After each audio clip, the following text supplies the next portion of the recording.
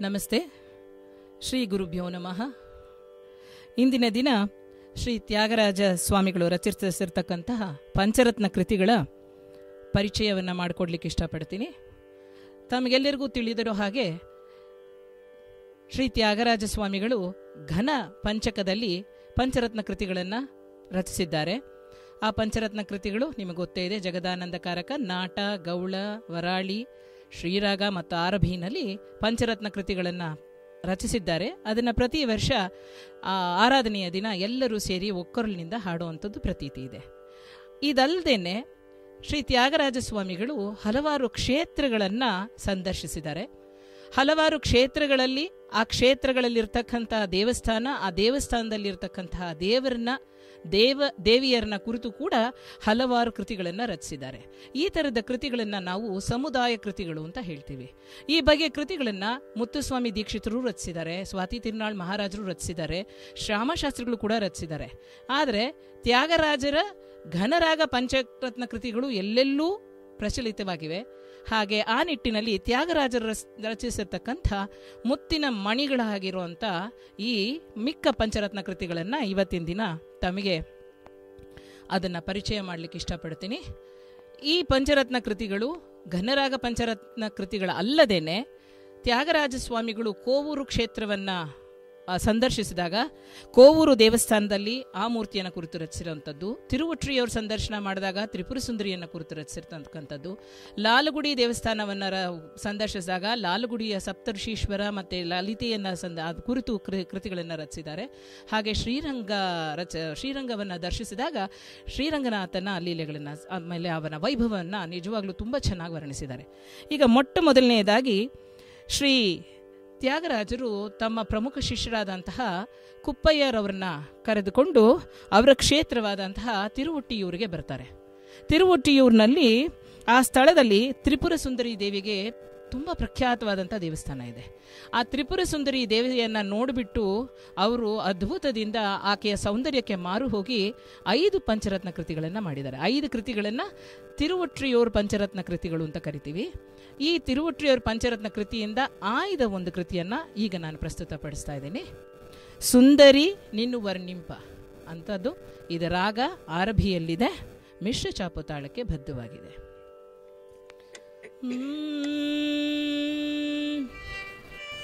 ತದರಿ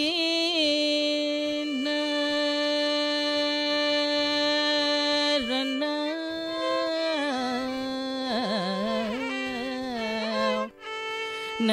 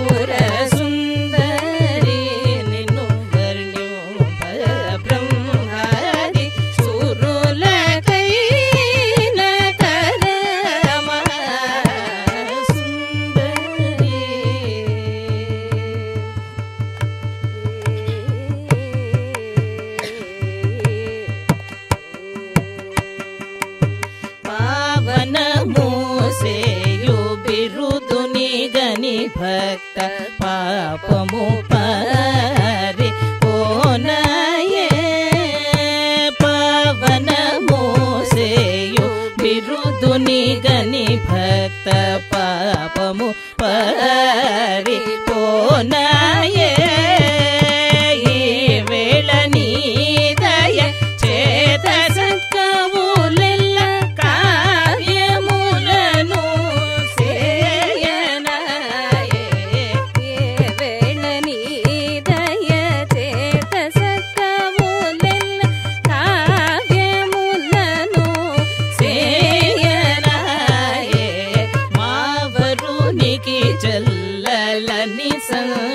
సంతోషమున్న దేవి పేదలు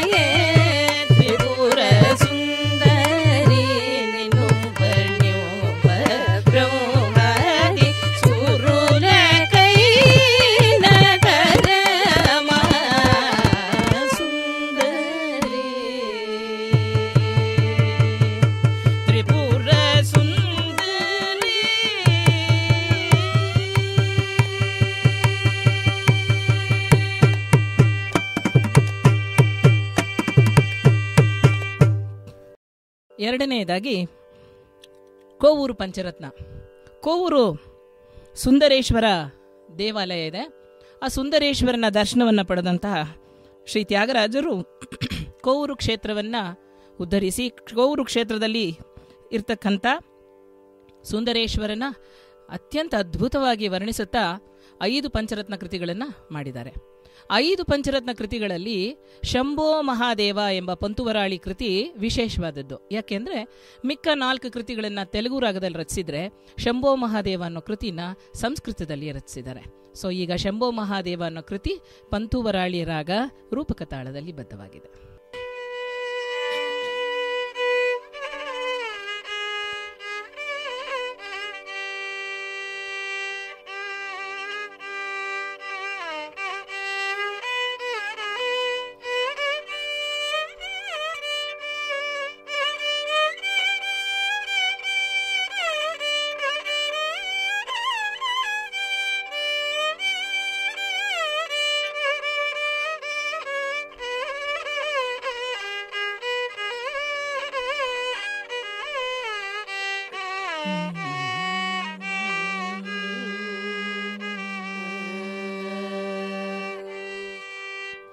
शम्भो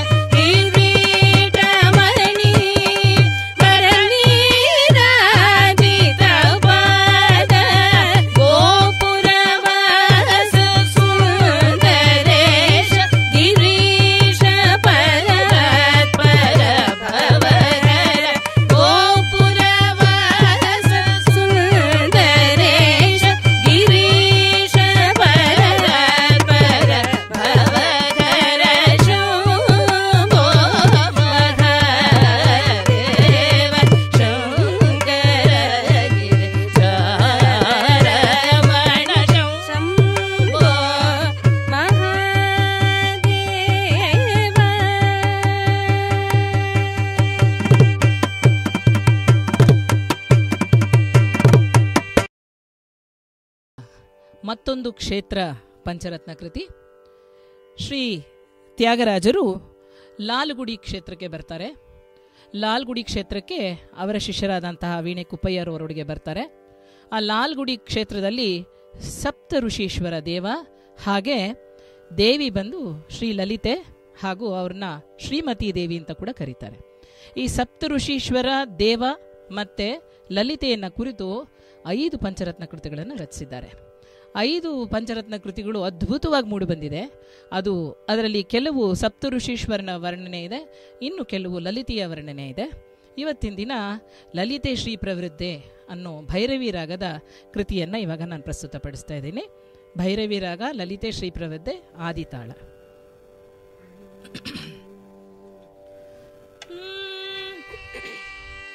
ನರಿ